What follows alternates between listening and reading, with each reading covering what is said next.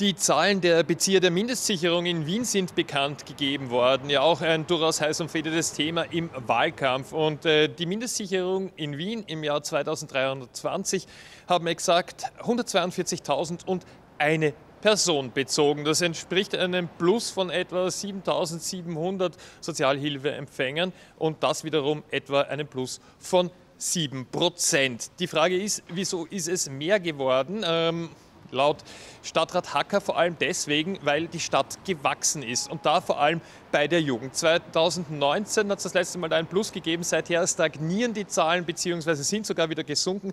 Erst mit 2023 gibt es das erste Mal wieder ein Plus und das unter anderem wegen dem ähm, oft besprochenen Familienzuzug, aber auch deswegen, weil Asylsuchende hier ja auch Kinder kriegen. Die fallen dann ebenfalls in die Mindestsicherung. Ähm, insgesamt haben rund 48.999 Minderjährige in Familien äh, eben die Mindestsicherung bezogen im Jahr 2023. Das entspricht hier einem Plus von 4,3 Prozent.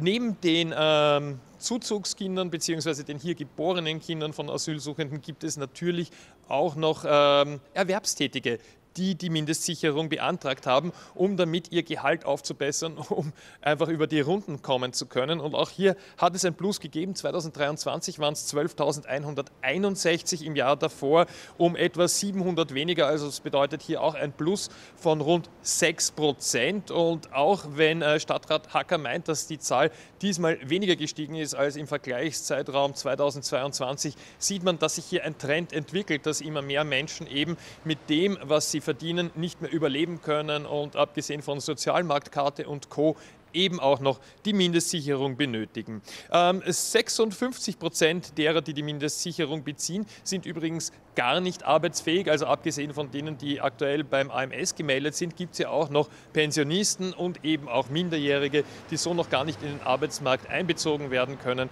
Und da hat dann auch ähm, Sozialstadtrat Peter Hacker noch einmal betont, dass in Wien niemand zurückgelassen wird.